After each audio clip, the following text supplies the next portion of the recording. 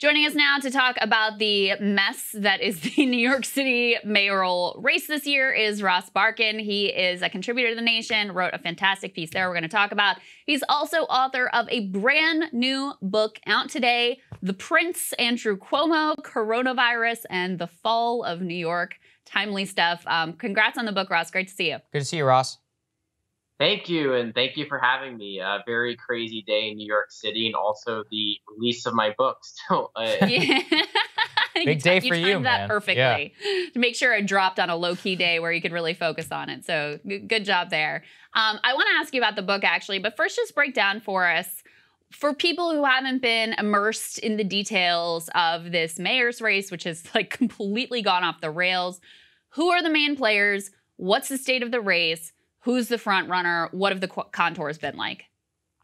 Sure. So right now there are four Democrats who all have some shot at winning. The front runner in the polls for the last month has been the Brooklyn Borough President Eric Adams, and he's been followed by different candidates at different times. Originally, Andrew Yang, the uh, celebrity former presidential candidate, was the front runner. He no longer is. You have Maya Wiley, who's de Blasio's former counsel an MSNBC pundit, and you have Kathryn Garcia, who was de Blasio's former sanitation commissioner. And there was a fifth candidate who was once one of the top contenders, Scott Stringer, but he was accused of sexual assault. The allegation was never substantiated, but that really derailed his campaign. So there's really four contenders. Adams is the favorite.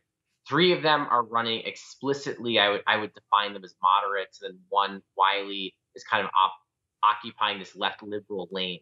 But certainly, most of the candidates are talking about you know issues like crime, public safety, are pro charter school, and um, have come out explicitly against the funding of the police. So very interesting race coming off of what happened in 2020. Yeah, and so Ross, you wrote this piece. Let's put it up there on the screen um, in the Nation, which I saw get some play. Where you're talking a little bit about how Eric Adams, in particular, who has been really kind of a strange figure, who uses identity politics um, in order to cover for some of these corporate things that he's doing. Could you just explain that a bit? Yeah, so Eric Adams, he, he has fascinating political history. He was a police captain for a long time. He was in the transit police, then the NYPD. He was elected to the state senate and then to the relatively power, powerless perch of borough president. He would be the bur- uh, the city's second black mayor, and he is someone who is both very anti woke, I would say, in terms of he talks a lot about um, you know, public safety and crime and being tough on crime. He said he carried a gun on him if he uh, was elected mayor because he can legally do that. He has a history of making very incendiary statements. He once told uh, people who are from out of town, so-called gentrifiers, to go back to Iowa. Um, at the same time, identity politics. So I don't know if that if that's like the little woke side of him or it's more just kind of a classic cynical ploy but repeatedly throughout this campaign and throughout his political career, he has used race as a way to deflect whether um, talking about tenant protections as an attack on black wealth, even though real estate developers and landlords are almost exclusively uh, very wealthy white people um, or these kind of large corporate firms, um, and also you know saying he can uh, you know illegally use these parking placards because the last former president got to do it. He was white, so you can't have corruption for the white guy, not for the black guy. So he's, he's a Mm. very canny and incendiary figure, a little bit like Rudy Giuliani, maybe more left wing Rudy, and even tiny shades of Trump. I I don't like to liken anyone to Trump, but he's definitely someone who makes a lot of outrageous statements, and it can be very hard to keep track of all of them. I mean, he's really weaponized race in what is a disgraceful um, manner in this campaign, and it's been called out by you know Maya Wiley, and certainly some of his attacks have been on uh, Yang and Kathryn Garcia, who kind of teamed up together. They campaigned together, including on Juneteenth.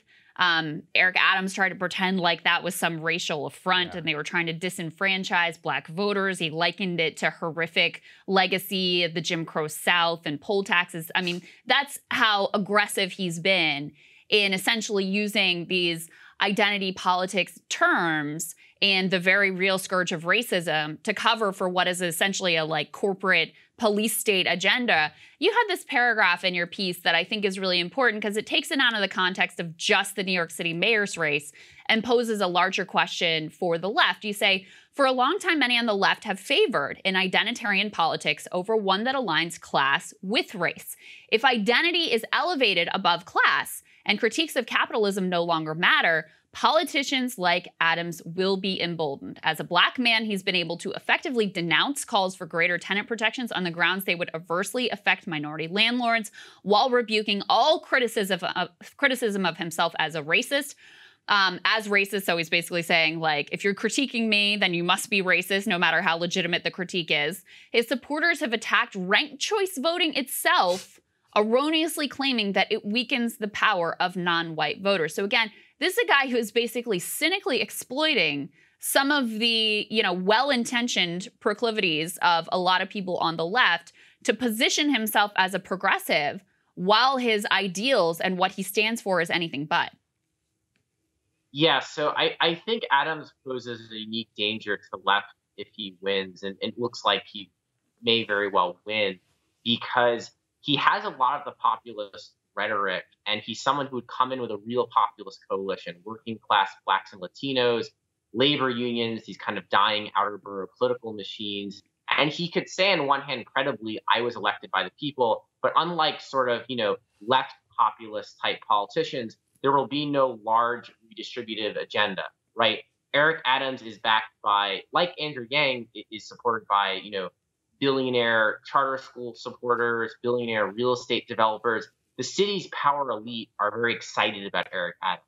They might be a bit wary because he is unpredictable and incendiary. They prefer someone like Michael Bloomberg, who, you know, very much fit in, in, a box, whereas Adams used to be a Republican, now he's a Democrat. He's all over the place.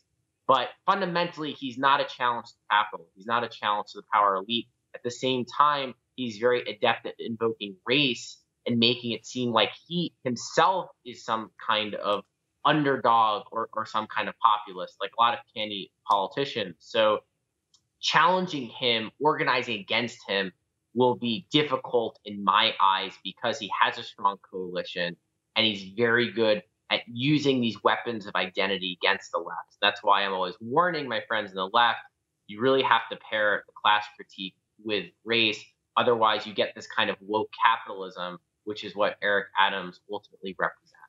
So, Ross, do New York City progressives, how are they going to square that uh, working class blacks are likely to elect a black mayor who wants more cops and doesn't want to defund the police? I just feel like this has to be one of the biggest reckonings for what's happening with left politics in New York City right now. I'm curious for your thoughts on that.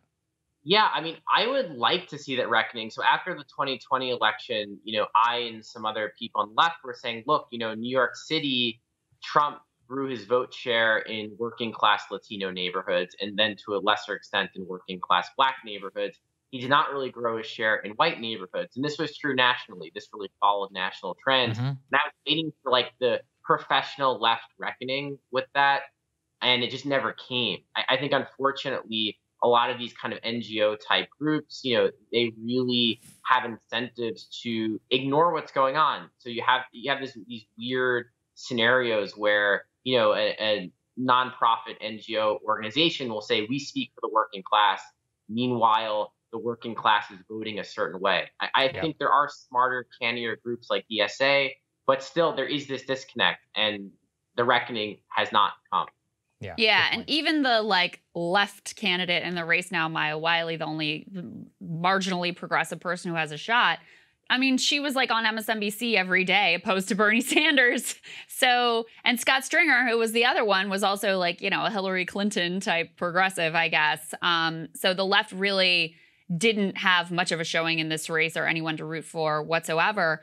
Um, look, we don't know what's going to happen, and ranked choice makes this very dicey in order in order to effectively predict what's going to happen in this race. First time having ranked choice voting in the New York City mayoral primary. Um, but Andrew Yang was once solidly at the top of this field and has really fallen off to where, you know, I think if he were to win at this point, it would be a tremendous comeback. He's a, a large underdog at this point.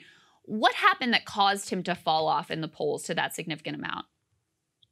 So, my theory is Andrew Yang really lost educated liberal voters. Unlike Hmm. the national Democratic electorate, the left liberal PMC part of the Democratic electorate in New York City is a lot bigger. So, you know, Elizabeth Warren flopped on the national stage, right?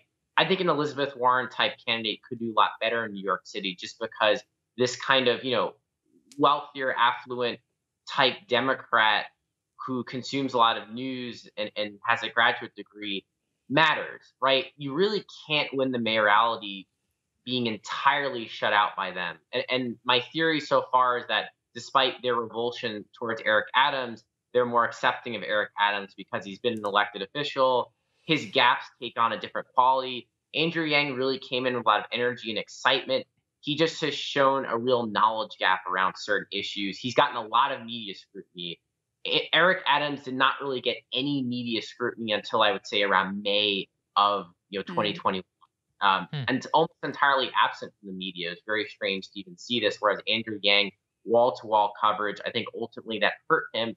I think if Eric Adams got the level of scrutiny Yang did, he would not be so high in the polls. That being said, I think Andrew Yang did a really poor job of mitigating the fears of progressives and also at least trying to assuage some of this kind of educated liberal voter base, which Mm. does matter. Bill de Blasio won with educated liberals, he won with working class black voters. Eric Adams will not do well with educated liberals, but my own sense is he's probably better positioned in ranked choice voting to show up on their ballots more than Yang. That's still Yeah. be still to be Yang determined. listened to those. Uh, Yang listened to those consultant, those Bloomberg consultants a little too much. I think. Um, tell us about the book. Congrats on it coming out today. Again, it's called "The Prince: Andrew Cuomo, Coronavirus, and the Fall of New York." We've certainly been talking to you about these topics for a while. What is it that you wanted to dig into in this book and expose about Andrew Cuomo and his uh, reign as governor there? So I really see this book as a rejoinder to the propaganda memoir he put out last year. The focus of Mm. late is the mayor's race, but Andrew Cuomo is still the king of New York. He has not resigned. He's inordinately powerful. He wants to run for a fourth term. So this is a book about the horrible year of COVID in New York State. It's about how Andrew Cuomo failed New York, how he downplayed COVID, compared it to the flu like Donald Trump did, was late to respond, mismanaged nursing homes, courted scandal and controversy. And it's also about its political history. So if you're interested in kind of how Cuomo came to be who he is, how he betrayed the left over and over again, and really uh, worked to foil the ambitions of Democrats, this is definitely a book for you. It, it's pretty, it's very readable. It's fairly short. And if you really, you know, you read the memoir last year or ignored the memoir last year and you want Mm. to really find out what happened with Andrew Cuomo, what happened with COVID, who is this guy, why is he so powerful, I really think uh, this is a book you will enjoy and you should go buy it from OR Books today. I'm going to go ahead and assume our audience did not read the Andrew Cuomo memoir. However, they should read your book ah. because you have been the most astute observer, one of the most astute, astute observers, certainly, of Cuomo and his failures from the very beginning. You weren't buying into the media hype.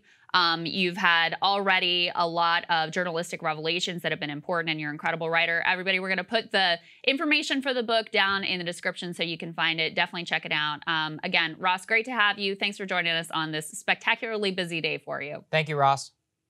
Thank you for having me. of Mhm. course. Thanks everybody for watching, guys. We really appreciate it. As a reminder, if you want to watch the full show completely uncut, you can become a premium member today. You get to listen to it as a full audio show as well, and you get to help support our work here. We're 100% powered by Supercast. We love them. It's an awesome partnership, and we will see you all on Thursday. Have a great day, guys. We'll see you back here on Thursday. Enjoy.